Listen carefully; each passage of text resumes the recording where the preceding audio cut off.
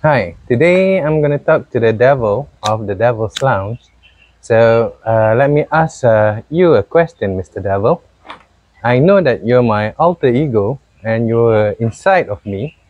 Then suddenly one day you just jump out and come out from me and start living your own life. How did you do that? Can you please explain to the people how and why?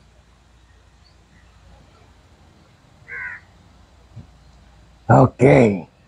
My name is the devil, yeah. And I did came from your body. But I got depressed when people start belittling you. And one day I get angry, I just jump out from your body and scared everybody off. And after that, I kind of like living here and I don't want to go back in.